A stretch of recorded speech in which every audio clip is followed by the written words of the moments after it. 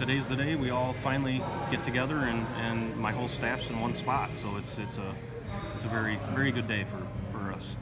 We have a lot of things that I think will boost our production this year, including being able to sit so many more people compared to our previous pub that we'll actually sell more in house, which will create more volume. So I, I see us maybe not doubling this year, but you know, getting 2,500, you know, 3,000 barrels this year would not would not shock me at all.